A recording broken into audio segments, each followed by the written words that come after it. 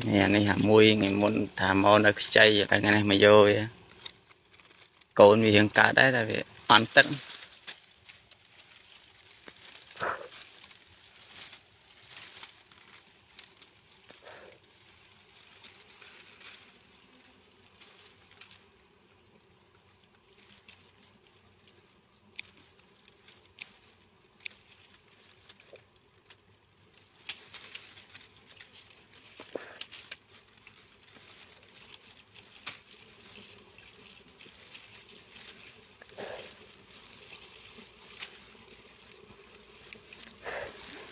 ទឹកវារៀងអន់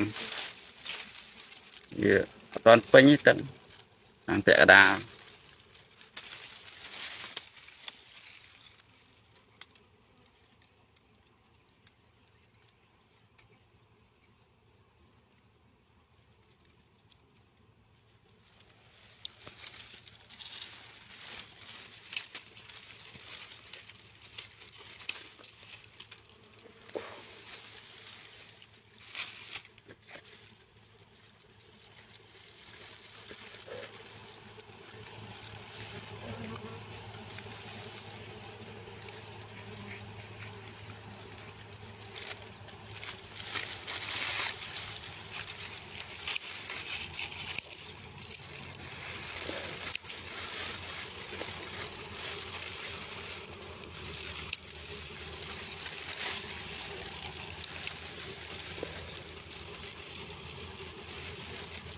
ទឹកដាក់នៅប្រហោងប្រហោងទឹកអត់ទាន់ពេញទេ